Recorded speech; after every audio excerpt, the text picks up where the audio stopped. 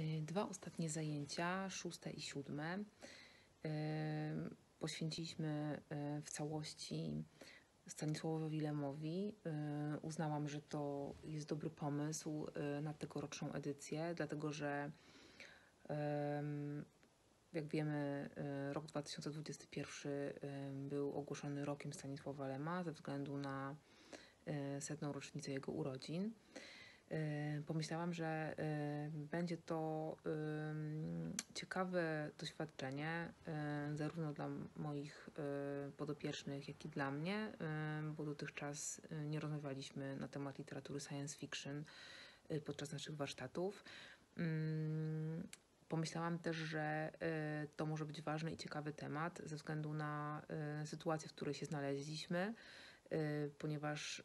ym, zajęcia odbyły się głównie online y, z powodów y, epidemiologicznych y, i dlatego też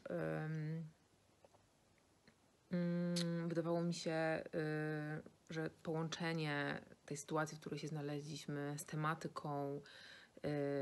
utworu, który będziemy omawiać, y, no jakoś przysłuży się nam i y, będzie nam po prostu łatwiej połączyć te treści. W związku z tym ym, zdecydowaliśmy, że przed zajęciami uczniowie zapoznają się y, co nieco z twórczością Lema,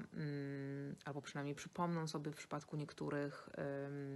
wiadomości o Stanisławie Lemie, y, ponieważ y, u siebie w szkole omawiają fragmenty jego utworów. Wybrałam na te zajęcia ym, opowiadanie ym, z tomu bajki robotów pod tytułem Maszyna Trurla. I obejrzeliśmy też film animowany, y, krótki film animowany y, o tym samym tytule. Zależało mi na tym, aby na tych zajęciach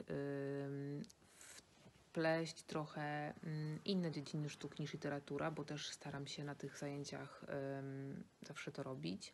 I tutaj właśnie mieliśmy ym, połączenie filmu i literatury. Y, Chciałam, żeby ym, uczniowie zobaczyli, jaki wpływ na odbiór y, w dziele filmowym ma na przykład muzyka, y, bo akurat w tym krótkometrażowym filmie to jest bardzo istotny element. Jeśli chodzi o samo opowiadanie, em, to bardziej niż na mm, formalnej stronie em, tej literatury, wolałam skupić się na e, merytoryce, mm, na tym, o czym Lem pisze, dlaczego tak pisze. E, Oczywiście mm, nie mogliśmy przejść obojętnie obok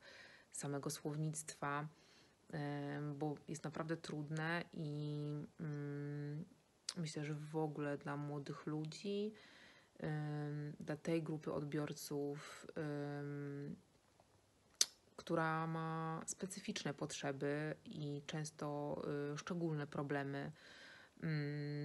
to może być w dwójnasób trudne, ale udało nam się przebrnąć, ale udało nam się przebrnąć y, przez y, część tych treści i połączyć je y, z tym, co młodzież lubi najbardziej, ym, czyli y, z rozumieniem technologii we współczesnym świecie, z tym, co jest im bardzo bliskie. Y, Udało się spojrzeć na Lema, dowiedzieć się o nim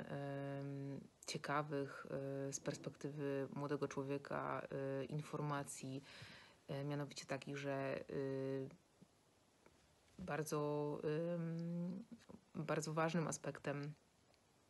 w jego twórczości było przewidywanie tego, co się może wydarzyć, i e, to naprawdę było zaskakujące dla uczestników,